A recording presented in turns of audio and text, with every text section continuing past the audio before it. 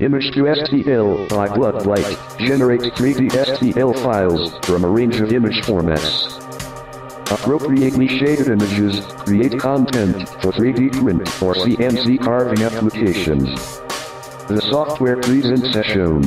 Default parameters reduce output for 3D printing. Controls are easily adjusted to create lithophanes, molds or bas relief surfaces.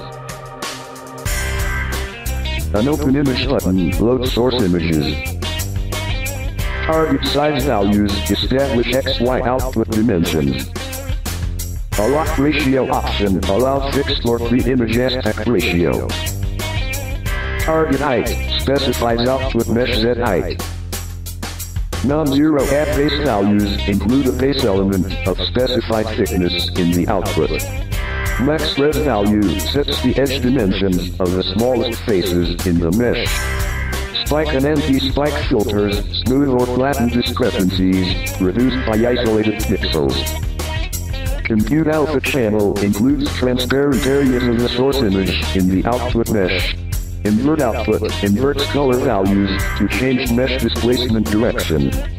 The enable black-white threshold option and slider allow control reduction of shading to produce a monochrome silhouette. Create STL initiates save of generated output.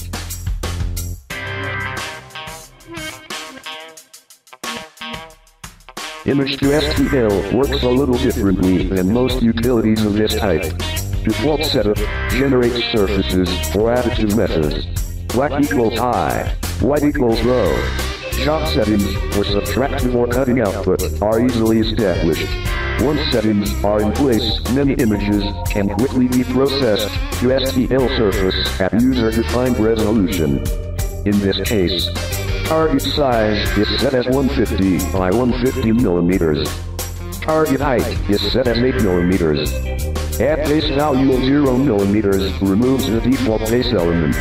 Max res sets the minimum size of the smallest faces. This setting impacts level of detail captured from the image. Max res value will vary with output size and source image. Division of target size by the number of image pixels gives single pixel dimensions. In this case, 150 millimeters divided by longest edge pixel count of 1000 equals 0.15 millimeters. 0.15 as max res gives 1 to 1 pixel to mesh quad ratio. Surfaces with less detail may benefit from pixel averaging. The calculation result can be applied as a factor i.e. in the case of 0.15 millimeters, 0.30 millimeters, or 0.60 millimeters might also be worth consideration. If less detail is present, or smooth surfaces are required, using a multiple of the result can be helpful. Spike filter and anti-spike filter settings will also vary from image to image. These settings address isolated pixels in the image to reduce spikes in 3D print output. Compute alpha channel is deactivated and invert output is made active. Results are recalculated automatically.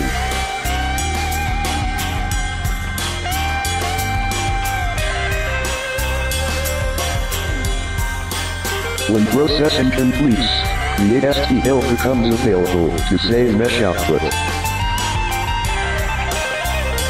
Image to STL has no 3D viewing mode so results are expected in MeshLab.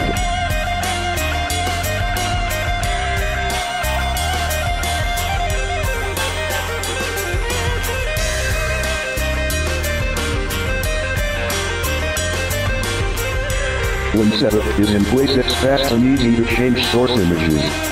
A suitable max res value is calculated to meet new job requirements. In this case results were best with max res value of 0.26 millimeters. The new max res value is applied, and the new surface is calculated. Results are quickly saved.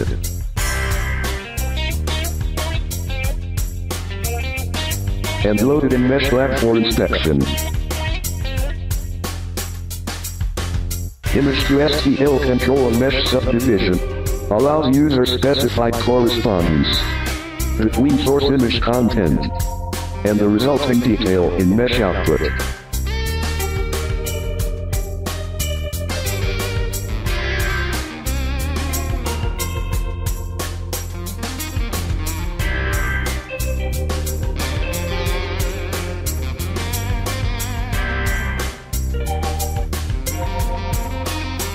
Many lithophanes start out as photographs. Image to STL setup is much the same. Max res value is calculated and applied. Lithophanes are intended to be translucent with varying depth, reproducing source image shading. Typical idle depth will often be 3 to 6 millimeters to suit cutting into thin plastic sheet or shallow depth 3D printing. Target height value is established at 3 millimeters with that base value of 0. Calculate alpha channel is activated to create a level surface around the job. Results are saved.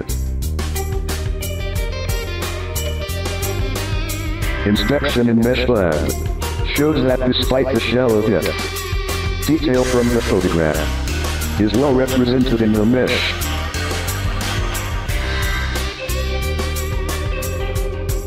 A suitable source image is loaded. Target size Y dimension is set to 170 millimeters. Target height dimension is 20 millimeters. Add base is used with value of 3 millimeters. And max res value is set at 0.3 millimeters. Spike and anti-spike filters are active. Calculate alpha channel is active. Invert output is deactivated. Results are calculated.